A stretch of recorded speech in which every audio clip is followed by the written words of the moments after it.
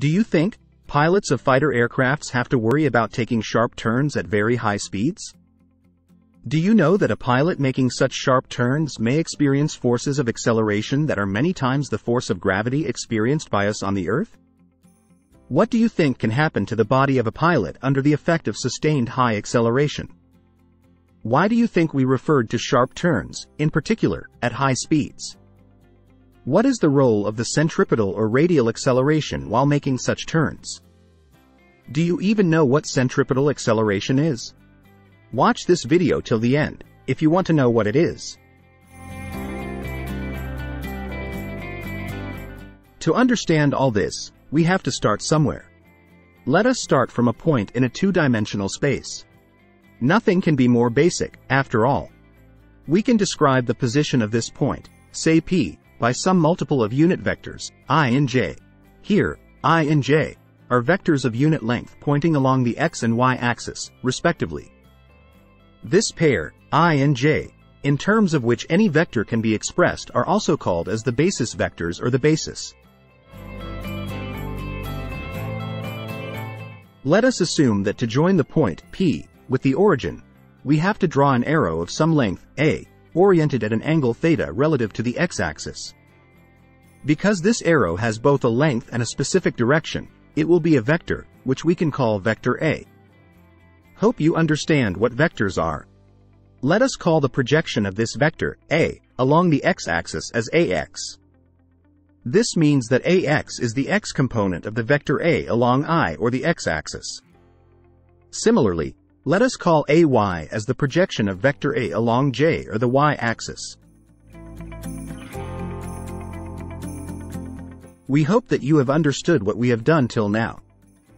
We have just taken a point in a two-dimensional plane and represented its position and direction with respect to the origin of the 2D plane with a vector, A.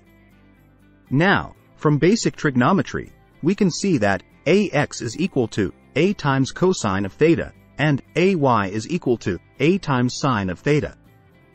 And the square of the magnitude of A is equal to AX squared plus AY squared. From the figure on your screen, you can see that the angle theta is the inverse tangent of AY divided by AX. Let us make the whole situation a little dynamic by introducing motion. So, now our point, P, is not fixed, but is moving in the two-dimensional xy plane. We will label its position at any time t, by the vector r at t. And because the particle is in motion, its position at a small time interval, t plus delta t, later can be labeled similarly, as r at t plus delta t. From r at t and r at t plus delta t, we can get the change in the particle's position. That is by how much the particle has moved in the small time interval. From the figure, on the screen, we can see that it is i times delta x plus j times delta y. And the velocity of this particle will be i times dx by dt added to j times dy by dt. Having calculated the change in position and the velocity of a particle moving in two-dimensional plane, we will now introduce a special case of motion in the 2D plane. Consider a particular case of the position vector r, at time t of the moving particle.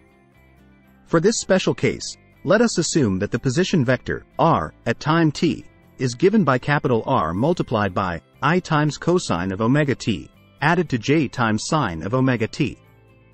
No need to worry. This is very similar to what we considered in the beginning, when we represented the position of a stationary particle by the vector a. What we have done now, is that we have introduced motion, and assumed that the angle theta is equal to some constant, which we call omega, multiplied by a variable, t, that represents time. We have also assumed that the length of the arrow from the origin to the moving point, p, remains constant, and is represented by capital R. By looking at the vector, r, that joins the origin to the moving particle, is there any way to know what this particle is doing exactly? You will agree that it is hard to know that, just by looking at the equation of the position vector. So, let us do some algebraic manipulations, and see if we can decipher anything useful about the motion of this particle.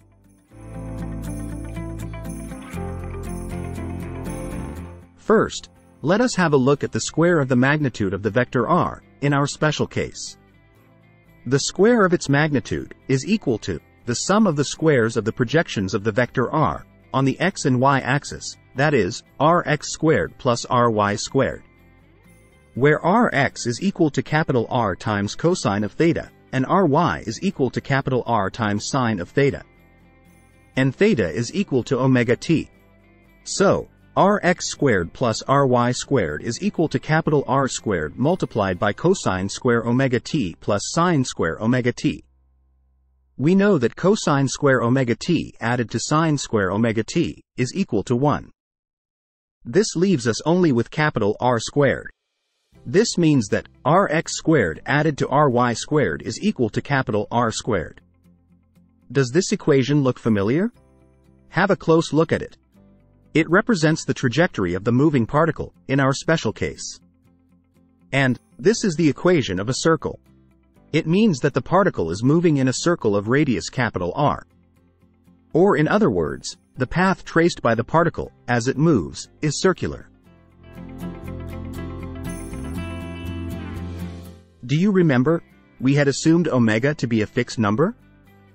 The other term, t, in omega t, represented time, which is changing continuously.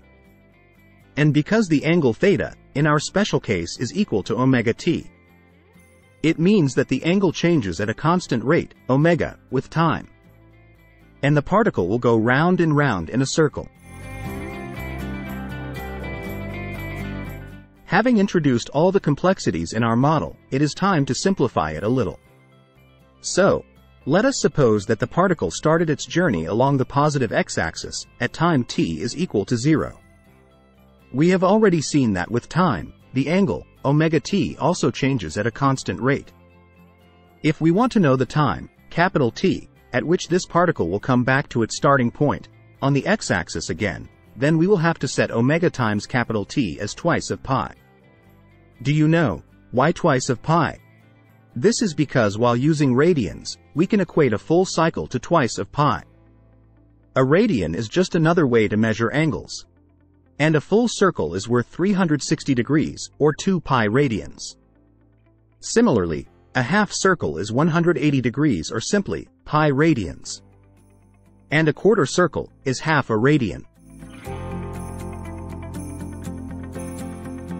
because omega times capital T is 2 pi radians. It implies that omega is equal to twice of pi divided by capital T. And, if f is the frequency, which is equal to 1 divided by capital T, then omega is equal to twice of pi multiplied by the frequency. The frequency f, measured in hertz, is the number of cycles per second. In every cycle, the particle rotates by 2 pi radians, and it completes f revolutions per second. This means that omega, which equals twice of pi times f, and is called the angular velocity, measures the number of radians swept out per second.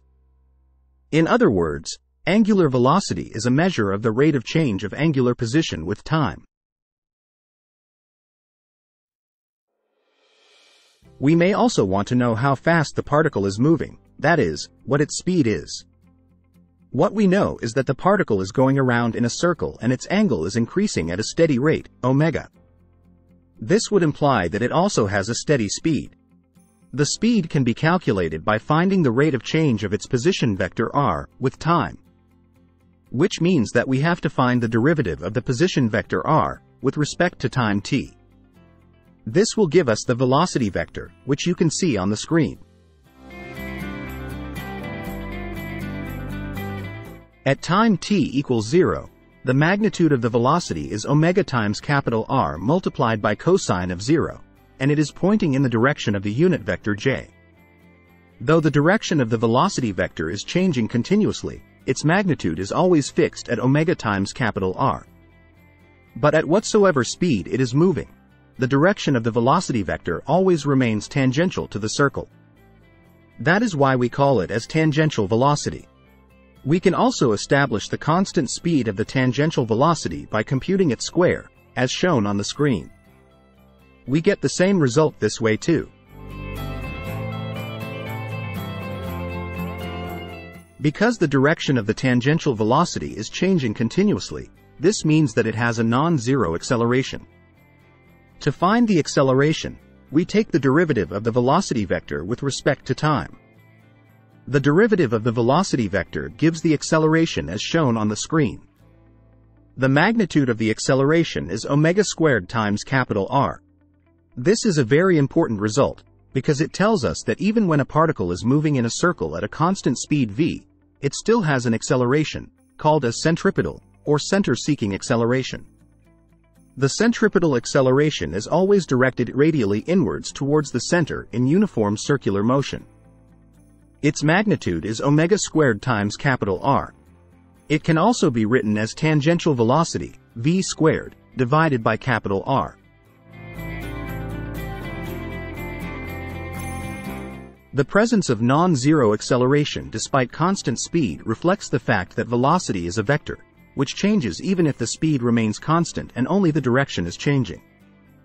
Even if the particle is not moving fully around a circle but is instead traversing just a quarter of the circle, it will still have the same acceleration directed towards the center.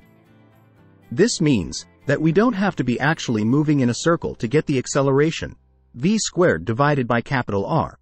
Rather, if at any instance, the curve that a particle is following can even locally be approximated as part of a circle, then it will experience a non-zero acceleration directed towards the center of the circle. And this is even so if the particle is moving at a constant speed. Hope you are now able to appreciate the force that will be experienced in making a sharp turn at a high speed. This force is due to the centripetal acceleration and is directed radially inwards towards the center of a particle in circular motion. This is all we will cover in this video.